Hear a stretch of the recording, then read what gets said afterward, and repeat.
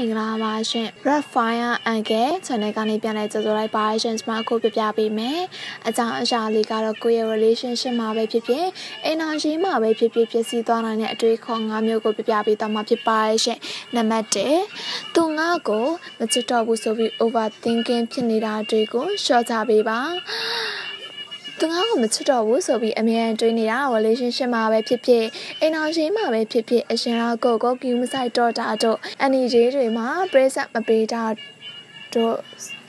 အဲ့ဒီအချိန်မှာသူကကိုမသိတဲ့ပြဿနာတွေဖြေရှင်းနေရတာလဲဖြစ်ရင်ဖြစ်မယ်ဒါမှမဟုတ်သူ့အလုံးမှာအခက်အခဲတွေရှိလို့စိတ်ဖိစီးမှုတွေများနေရလဲဖြစ်ရင်ဖြစ်မယ်ဒါကိုကိုကမချစ်တော့ဘူးလားဆိုပြီးကွာကော တွေးနေတာကအခုချိန်မှာတော့အဆင်ပြေသွားလိမ့်မယ်ဒါပေမဲ့အချိန်ကြာလာရင်တော့ relationship တခုတော့မဟုတ်အိမ်တော်ရေးတခုကပြိုလဲပျက်စီးသွားနိုင်တယ်ပေါ့နော်အဲ့လိုမျိုးတွေးနေမဲ့အစားပွပွင့်လင်းလင်းမေးတင်တယ်ပွပွင့်လင်းလင်းနှစ်သိမ့်ပေးပြီး နားလည်ပေးရှင်ဒါကအဆင်ပြေသွားနိုင်ပါရဲ့နော်အဲ့လိုမတွေ့ပဲတစ်ဖက်သက်ကြီးတွင်းနေရှင်ကိုယ်စိတ်ကိုပင်ပန်းစေနိုင်တယ်လို့ relationship ကိုလည်းပျက်စီးသွားတတ်စေပါရဲ့နံပါတ်1ကတော့အပြစ်တင်တဲ့စိတ်ကိုပြုပြင်ပါပြဿနာတစ်ခုခုဖြစ်လာရင် ကိုပါတနာကိုအပြစ်တင်တာကြာလာရင်အပြစ်တင်စိတ်ကိုမြို့သိထားတဲ့ကိုလေးပါဇက်ကနေပွင့်ထက်လာမယ် အပြစ်တင်ခံရတဲ့ကိုပတနာကလည်းစိတ်တန်အားရသွားနိုင်တယ်ပေါ့နော်အဲ့လိုစိတ်တန်အားရရင်ကိုပတနာကလည်းစိတ်အားငယ်တယ်ပေါ့နော်သူကြောင့်အမြဲတမ်းဖြစ်နေရဲဆိုတဲ့ပုံစံမျိုးပေါ့ပြီးတော့ကိုက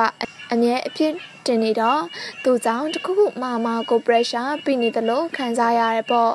အဲ့လိုမျိုးကြောင့်အဆင်မပြေဘူးပေါ့နော် relationship တခုဒါမှမဟုတ်အိမ်အောင်ဘက်တခုမှအဖြစ်တင်တာကောင်းတဲ့လို့ရမဟုတ်ဘူးပေါ့နော်အတက်နိုင်ဆုံး short ချတင်ပါရယ်နော်ဒါမှ relationship တခုကိုတည်မြဲအောင်ဆက်ပြီးထိန်းသိမ်းထားနိုင်မယ်လို့ထင်ပါတယ်။နံပါတ်3အတွေးလွန်တာပါအတွေးလွန်နေဆိုတာမဖြစ်တဲ့အရာတစ်ခုကိုဖြစ်နေတဲ့ပုံစံမျိုးသူမလုပ်တဲ့အရာတစ်ခုကိုလုံးနေရဲဆိုတာမျိုးကိုကတွေးနေတာတကယ်တော့ ဒီဘက်မှာကဥပမာသူအလုပ်ကိစ္စနဲ့ခရီးထွက်ရတယ်ဆိုရင်သူ့ဘာသာအလုပ်ကိစ္စကြောင့်ခရီးထွက်တာလေဒါကြီးကိုကိုက overthinking ကြီးတွေဖြစ်ပြီးတော့သူဘသူနဲ့သွားတာလဲဘာသွားလို့တာလဲနှစ်ရက်တောင်ဘာလို့ကြာတာလဲအဲ့လိုတွေးနေမယ်ဆိုရင်အဆင်မပြေဘူးပေါ့နော်အဲ့လို overthinking တွေတွေးနေမယ်အစားသူ့ရဲ့တနေ့တာလုပ်ငန်းစဉ်တွေမှာသူ ဒီချိန်လောက်ဆိုပါလုံးနေလောက်ပြီး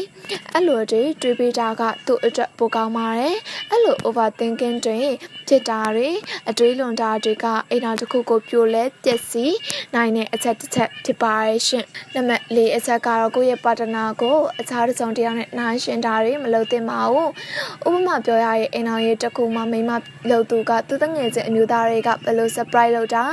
ဘယ်လိုဖြည့်ဆည်းပေးတာအလောက်ကပြန်လာရင်ဘာတွေဝယ်လာပေးတာအဲ့လိုတွေပြောတာတွေကအခြားမိသားစုကိုကြည့်ပြီးအားကြတယ်လို့ပြောနေတာကလည်းမတိမတာလေးနိုင်ရှင်လိုက်တာပါပဲ။ယောက်ျားလေးတွေဆိုလဲသူများမိန်းမတွေများအိမ်အောင်ကြပြီးကြတာလှနေသေးတယ်အစားရှိတဲ့ဖြစ်ပေါ့အဲ့လိုမျိုးတွေပြောခြင်းကလည်းတစ်ဖက်လူရဲ့စိတ်ကိုစွာတယ်လို့ဖြစ်တယ်ပေါ့နော်ကိုဘသာနေနေတာကအကောင်အခြား family တခုနဲ့နားရှင်တဲ့အခါမှာ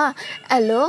compare လုပ်တာတွေကကိုယ့်ရဲ့အိမ်အောင်ရေးတစ်ခုကိုအစိတ်အတောက်ဖြစ်စေနိုင်တယ်ဒါကြောင့်မလုပ်တဲ့အချက်ထဲမှာလည်းပါလို့ရှောင်းတယ်မှာရှင်နံပါတ်5အချက်ကတော့ negative thinking ကိုရှော့ချသေးပါတယ်။ negative thinking ဆိုတာက overthinking ကနေတစ်စစ်ဖြစ်ပေါ်လာတဲ့အတွေးခေါ်ပေါ့။ overthinking ဖြစ်ပြီးရဲ့လူတယောက်က negative thinking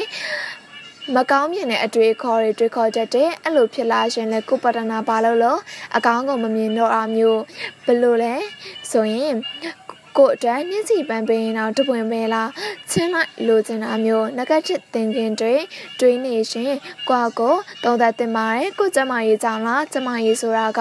ကိုယ့်ရဲ့အလုပ်တွေ ကိုကအလုပ်တွေပြီးလို့ strategy များချင်းကိုယ့်ကိုစိတ်တိုင်းမကျဖြစ်နေတဲ့အချိန်ကိုပါတနာကိုပါမကောင်းမြင်တတ်တယ်ပေါ့နော်အဲ့အချက်ကလည်းအိမ်အောင်ရေးတစ်ခုမှအစိတ်အတောက်ဖြစ်စေတဲ့အချက်ပေါ့နော်ရှောင်းတဲ့မှာရဲ့ရှင်အားလုံးပဲနားထောင်ပေးရဲ့အတွက်ကျေးဇူးအထူးပဲတင်ရှိပါရဲ့ရှင်မင်္ဂလာရှိသောနေ့ရက်လေးကိုပိုင်ဆိုင်နိုင်ပါစေရှင်